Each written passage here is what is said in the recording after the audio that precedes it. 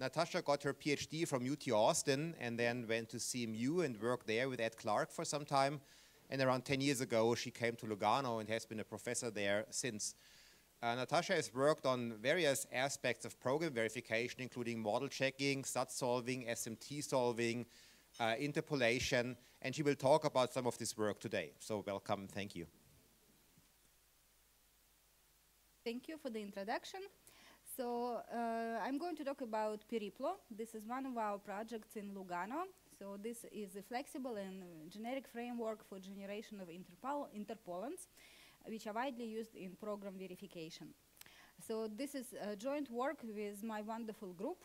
So in particular with my students, Leonardo Alt, Antti Hyvärinen, who is a postdoc, uh, Grisha Fedyukovich, and Simone Rollini.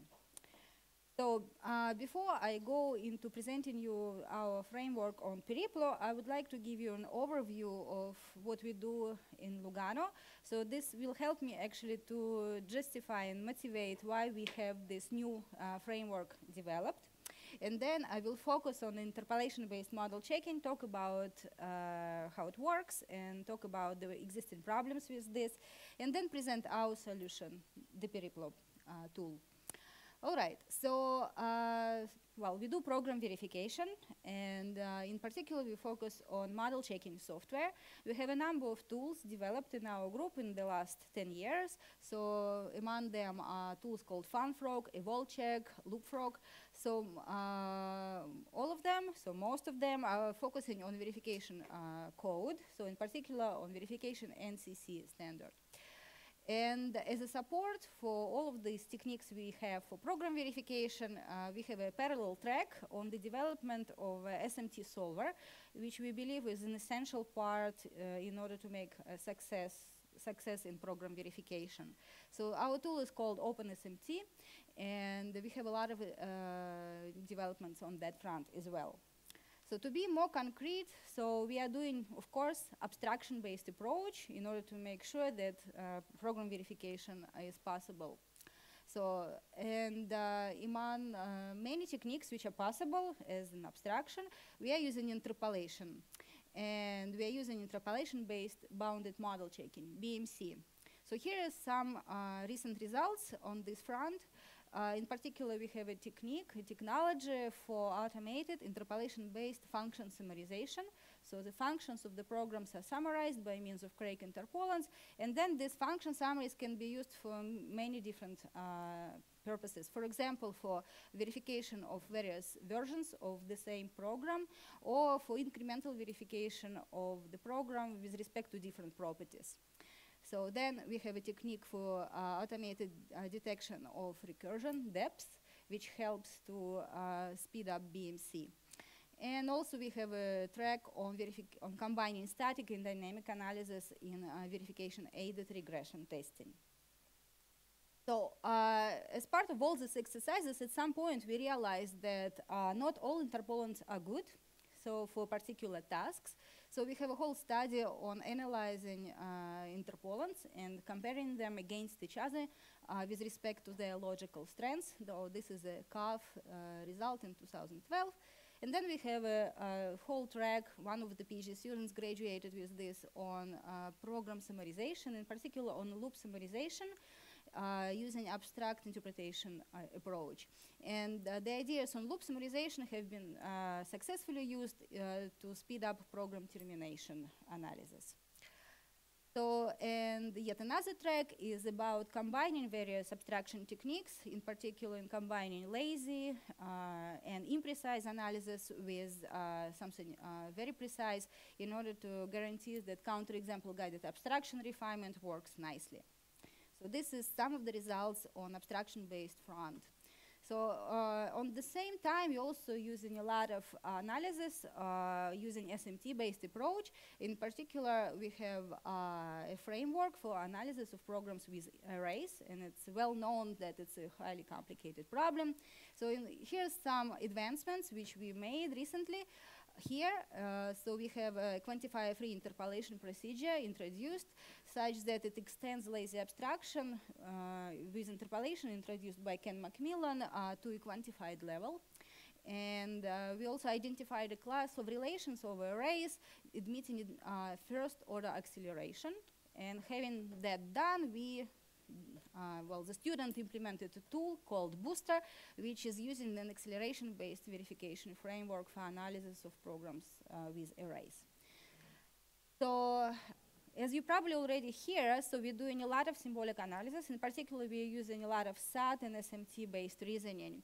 And uh, as I said, this is the parallel track, uh, although it's very often interleaves with the other tracks on program verification. So here we've done uh, the following advancements to the state of the art. So we have a whole set of proof reduction and proof manipulation techniques uh, such that it improves uh, construction of interpolants.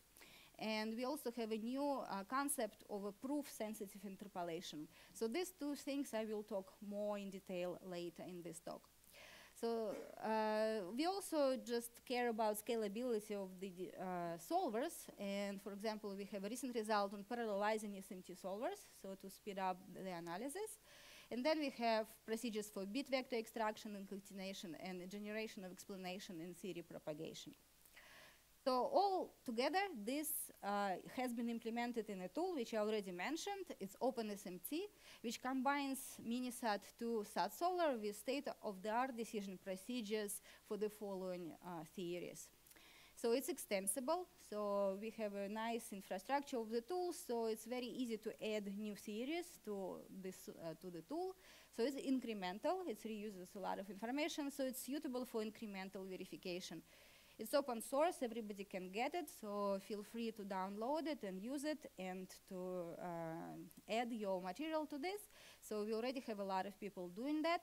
So it's parallelized, as I already said, using the efficient search space, uh, search space partitioning analysis and it's quite efficient. We, we have been competing in the SMT competition since 2008, and uh, uh, periodically we got very nice results. So at some point we were winners in three categories. We even uh, outperformed the Microsoft Research Z3 tool. Well, they didn't participate that year. well, we outperformed the previous year version. All right, so uh, this is kind of a summary of what we do, and if anybody is interested, I will be happy to talk about any of these projects in detail. But now let me focus on interpolation-based uh, model checking. So this is the um, uh, focus of many of our projects, because we believe that interpolation really suits quite nicely for the purpose of abstraction. And abstraction is essential if you want to verify realistic programs so this is the way to go uh, about combating the state space explosion problem. So there is a wide application in symbolic model checking, and here are just some classical examples where it's used. So for example, it was introduced by uh, Ken in 2003 uh, as a part of bounded model checking procedure. And then uh, later it was suggested to uh, use interpolation for refinement of spurious behaviors in the counterexample abstraction refinement loop. So then uh, it was further extended for property-based approximation relation, and so on and so forth. By now, so more than 10 years later, since it was suggested to be used in model checking, uh, just about any project which really wants to make sure that uh, program verification scales is using interpolation one way or the other.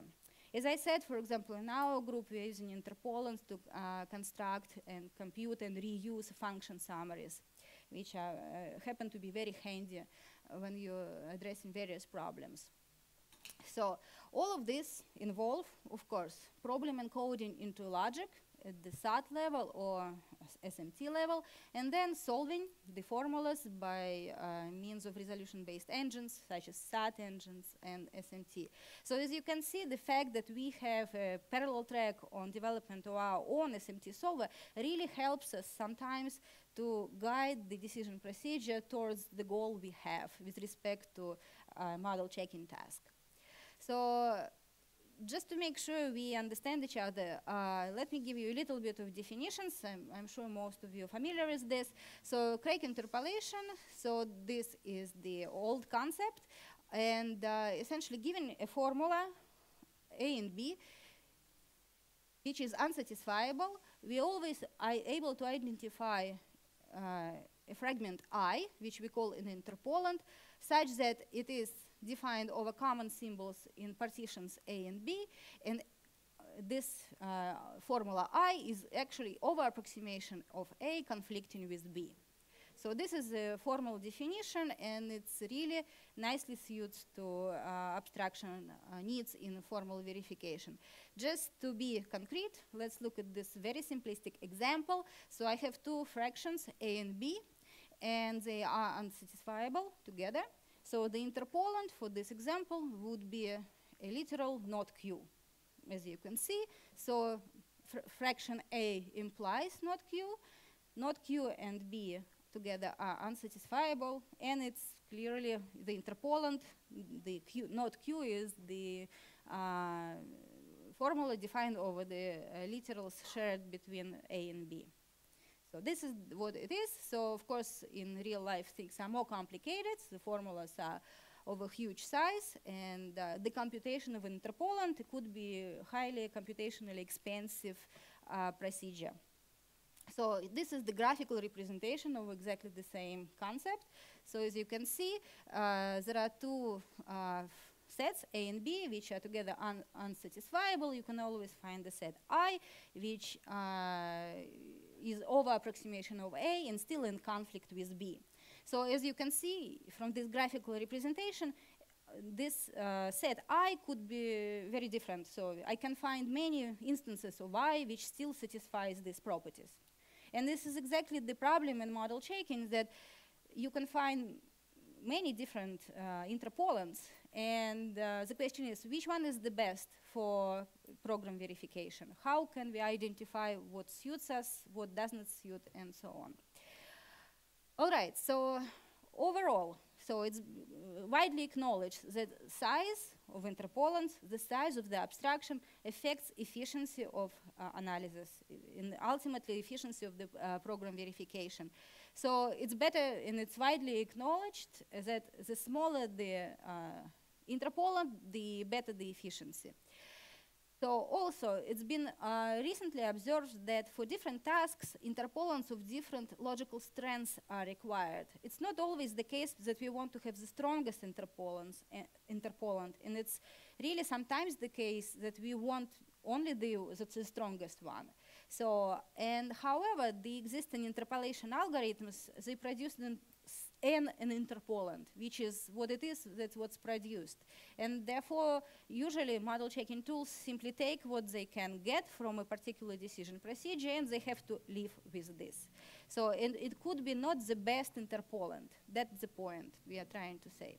Altogether, there is a, is a state of the affairs is there is a whole bunch, there is a whole collection of individual algorithms, and uh, usually there is no way to choose to figure out which one is better unless you try, compare them against each other. So there is a huge overhead in uh, trying to find what you would possibly want.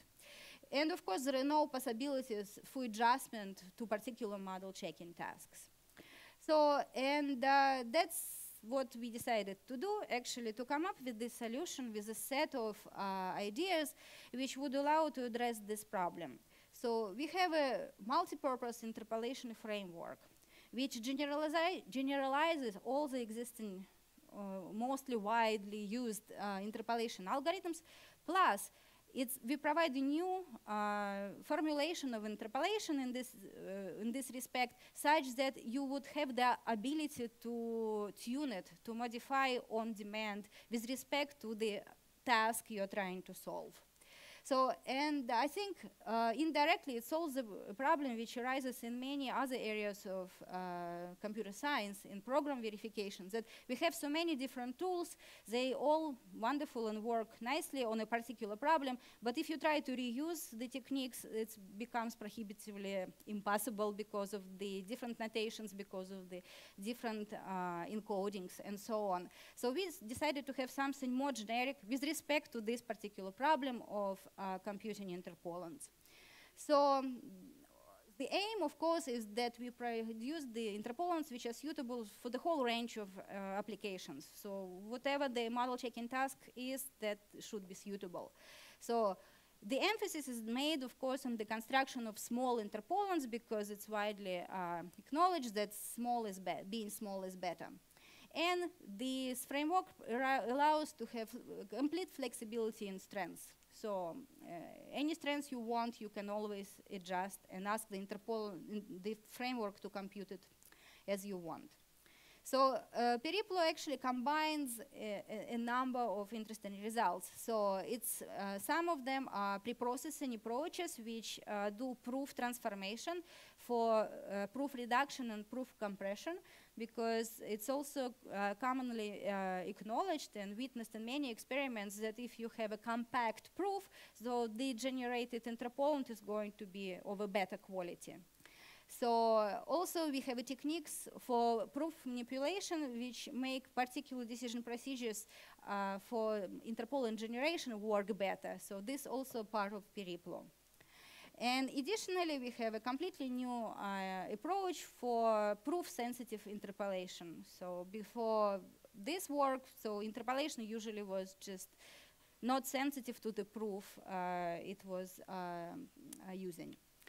Here's the bird eye view to our framework. So later I will go into more details, but just to start with. So the application essentially is a model checking problem. So whatever task you're solving, and let's say we are verifying different versions of the same system and we want to see efficiently that the new version of the system still satisfies the properties which the original system was satisfying. So, and uh, for that particular problem, you might want to avoid repeating verification from scratch and to, and to use instead some sophisticated techniques which would help you to reuse information you already know from, from the previous verification runs. So, and for this particular instantiation of a model checking problem, you might need uh, uh, interpolants of a particular shape. So you might need interpolants of a, a particular strength.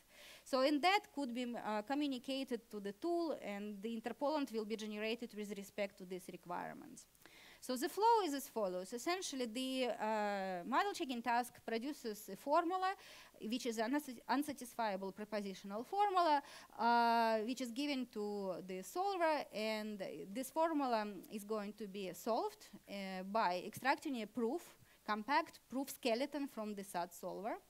Then this proof skeleton is going to be expanded to a resolution proof, then the resolution proof will be optimized by means of various techniques to a smaller compact proof.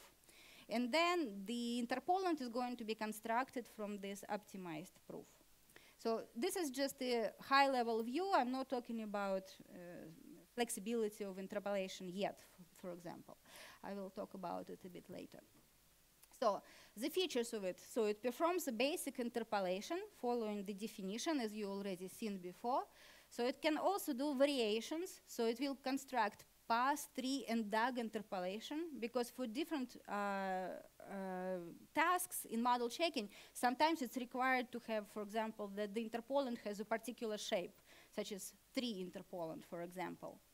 So, and uh, the example of this, for example, uh, I could give you as an example the problem of upgrade verification. So if you're using interpolants as function summaries, so these interpolants must satisfy the tree interpolation property.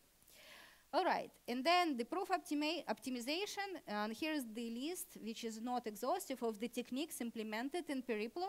So this is the, most of these techniques are targeting to removing redundancies from the proof and, for example, uh, removing resolution steps which reintroduce already resolved pivot variables or postponing, using, postponing unit resolution steps until the end of the resolution proof and using different local rewriting rules which preserve the validity of the proof but minimize the proof at the end. So all of these techniques uh, have been uh, published and experimented uh, even before Periplo existed. So we just decided that it's really good time to combine the things together into a joint framework. Uh, so uh, Periplo has a multifaceted interface. So it uh, has a clear API for C++ for tuning the interpolation algorithm, inserting formula into the tool, and fetching the interpolant from the tool. So it's reading and writing using SMT2 lib standard, and it's also using AIGER format. So how we are doing, how we are making sure is that our framework is very generic. So we are using what is called the labeled interpolation system. It's a framework introduced by D'Silva, who was doing his PhD here at ETH. And as part of his studies, he suggested uh, to have this LIS system. And uh, the idea is that in addition to the standard procedures for generation of interpolants, he suggested to have what is called a, a labeling framework. So this is how it works. So giving uh, the uh, resolution proof and partitions uh, A and B, so and giving some template for labeling of the variables inside of the proof, so the algorithm will generate the interpolant.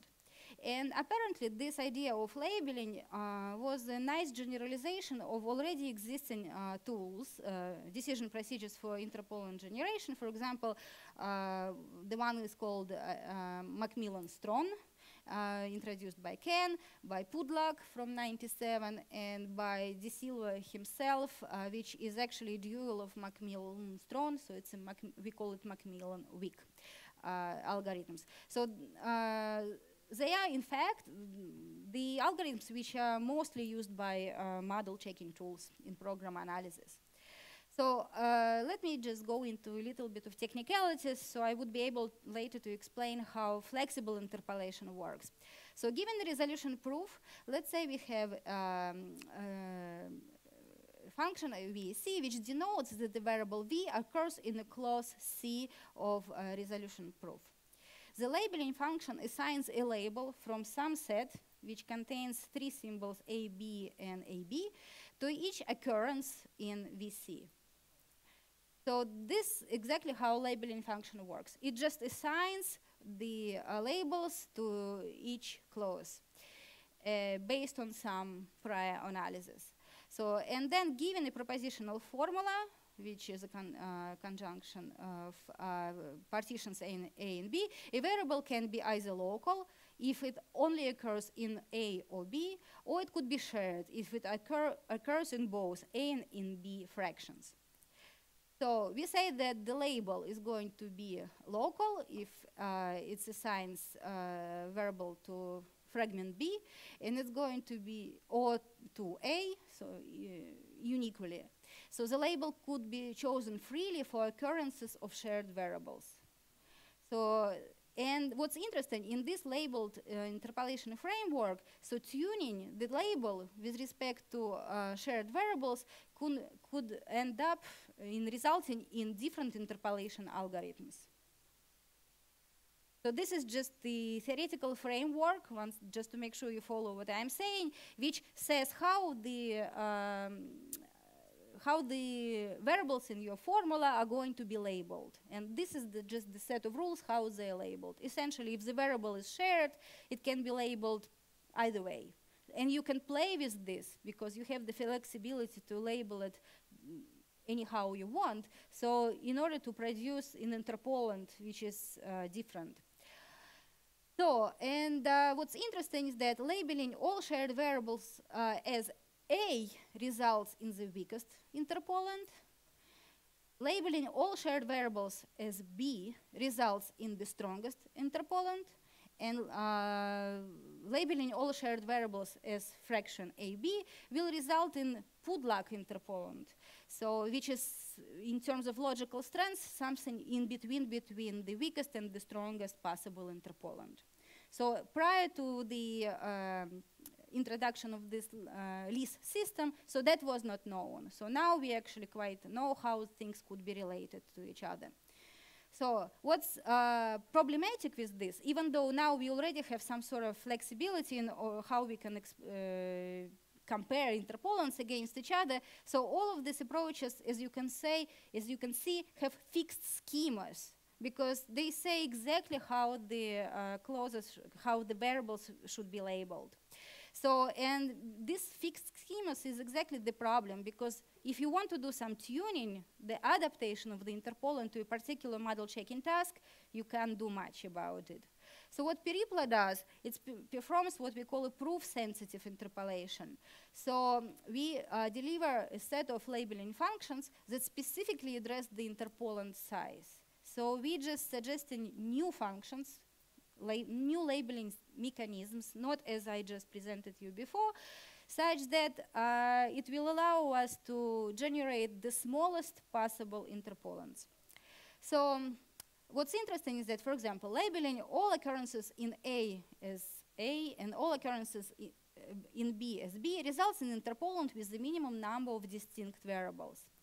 And by analyzing the number of, number of occurrences, it's possible to construct of interpolants that have a small number of connectives in the interpolant.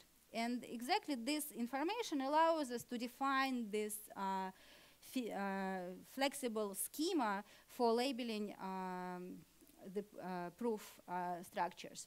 So essentially what we are using, we are counting the number of times a variable occurs in, in partition A. We count the number of times some variable uh, occurs in uh, partition B. And then the proof-sensitive labeling function uh, says that I'm going to label a particular literal to A if um, the first function is bigger than the other one, if occurrence of uh, variable p in A is bigger than an occurrence in the fraction B, and vice versa. So simply by comparing how, what the problem structure is, by analyzing what would be more suitable to be uh, labeled as a part of A or part of B, we are able to provide the proof-sensitive interpolation. So, and in addition to this flexible schema, so which really uh, now coupled with the problem you're uh, solving, coupled with the proof which is given, so we are able to uh, provide versions which can, once you have this interpolant, you can make it, make it stronger, you can make it weaker, uh, just in terms of uh, the strengths. Once again, you're just doing the proof-sensitive uh, interpolation. So this the hierarchy in terms of the logical strengths. Uh, and uh, the PeRiPLO will be able to generate you any interpolant from this schema. So this is a little bit of more detailed information about how it works. Once again, the application and the model checking task we are solving, and it provides to the tool, which is a SAT solver essentially, the formula, and uh, if the formula is unsatisfiable, so the proof is analyzed, so the application can suggest the partitions in terms of A and B. So, and then proof analysis is going to compute these labeling functions with respect to the provided partitions. So the, and then use these uh, labeling functions to do flexible labeling. With respect again with the strengths requirement which could be communicated to the tool from the application. And given all these inputs, so the in interpolator is going to be generated.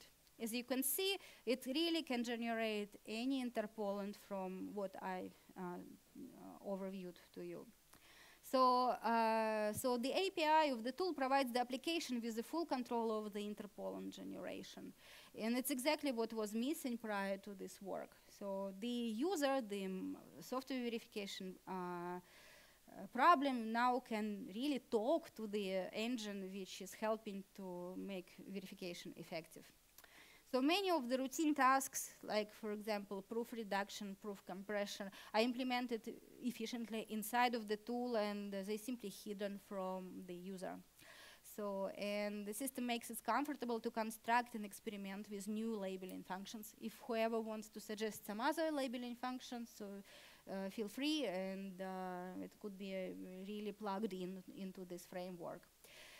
Here's some just uh, statistics uh, taken from some of the papers. So for example, this uh, table demonstrates how the reduction approach works. And in this case, it was local rewriting rules which minimize the size of the proof as a pre-processing before the interpolant is generated. And uh, so these results are for SMT examples. And uh, so there was a very large number of benchmark solved. So as you can see from the second uh, column, and uh, the overhead for the transformation, the time is quite slow, uh, is quite small. So for example, uh, you can again read it from the column. It's, it never exceeds uh, more than 20 seconds. And then you can also see what is the reduction on average for all of these uh, benchmarks solved. And the reduction is quite uh, spectacular.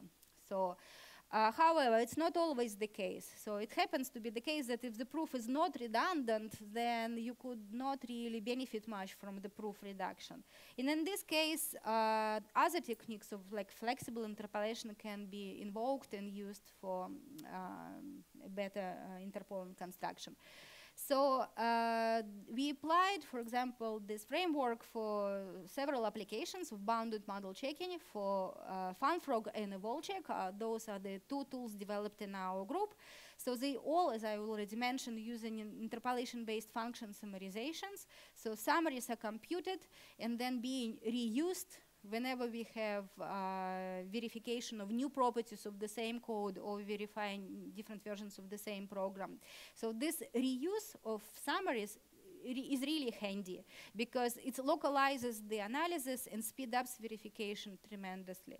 However, the uh, compactness, the size of the interpolants and the strength of interpolants is essential in this case. For example, it's been um, uh, proven that, for example, for incremental verification, strong interp interpolants are required. So the weak ones are not really going to give any use. So they only will slow down the analysis, despite of the local nature of function summarization. And for uh, upgrade checking, the other is true. So weak interpolants are required. So, and here's some statistics uh, on the left-hand side for you. This is FunFrog experimentation, and on the right-hand side is the EvolCheck verification. Again, FunFrog is function summarization-based analysis of the same program against different properties, and EvolCheck is verification of various versions of the program. And we compare different interpolation algorithms and how they used if you use them for function summarization and uh, consistently you can see that uh, flexible proof-sensitive interpolation consistently wins among any other algorithm. So also what's uh, probably uh, should be mentioned here, for example, you can see that for EvolCheck, we have less experiments because apparently uh, some uh, interpolation algorithms are simply not suitable for upgrade checking. So they don't satisfy the three interpolation properties, therefore they just should not be used at all. So that's uh, some uh, data, and the conclusions is that, that I presented you a tool which we call Periplo. It's an interpolation framework for propositional logic. It's generic and uh, flexible. It allows producing interpolants on demand. it provides an API, so it's easy to use. And it focuses in particular on constructing small interpolants because we believe it's um, very essential. And it provides a complete uh, flexibility in terms of strength. So the tool is available at our group website. We are very would be very happy if you use it, and uh, if you want, we can uh, collaborate with you in your projects uh, to help you to use it uh, as efficiently as possible. So the future work is what one of the students, students is doing now is extending this uh, framework to first order logic. Right, that concludes my talk. Thank you very much.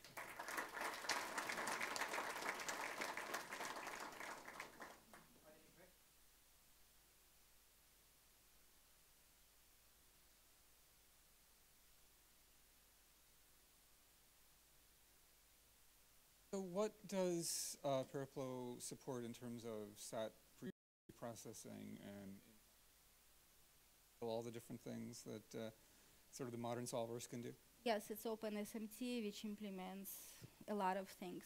Yes, essentially. So all of those are folded into right. the proof. In the, uh, absolutely. Okay. So it's not just some procedures; it's actually whole suite of all, everything which is believed to be the best. So we are competing we are trying to be in the SAT competition as well as SMT. No, right. we're competing in SMT, but it reuses a lot of stuff from SAT, right? So. so and what's the status of theories in? Well, uh, we have two versions of OpenSMT. So because we had the evolution of people who were working on them, so we had a full bunch of theories. But then we went to SMT2 LEAP Um, input, so we had to redo a lot of uh, things. So right now, the new version of the tool works for uninterpreted functions, uh, linear arithmetics, so and uh, difference logic. So there are like bit vectors, for example, not working anymore. They used to.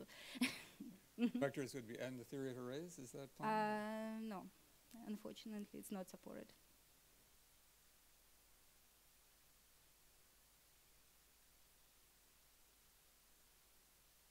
Kind of user do you have? Is it programmer that write program and you verify their program, or is it specialists of interpolation that want to experiment? No, no, no. It's exactly the point. Our users are people who are verifying uh, programs. They are not experts in the field at all. Actually, most of our projects are, you know, EU projects or so on. So we have industrial partners. For How do they choose their labeling functions, these guys who do not understand interpolation?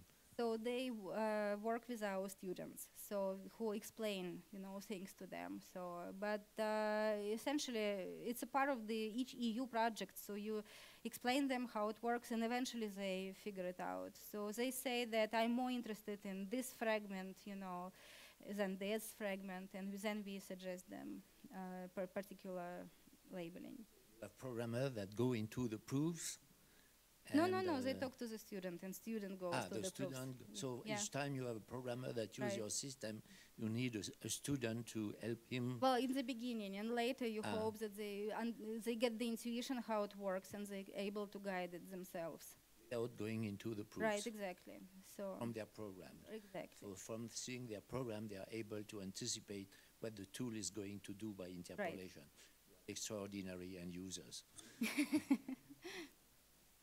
Can you maybe say a few sentences about how you imagine the generalization to uh, first order logic? So, well, the very naive and direct approach is just to extend the flexible interpolation with respect to the um, uh, theories. So, on each particular theory, you just will be labeling it to the fragments of it.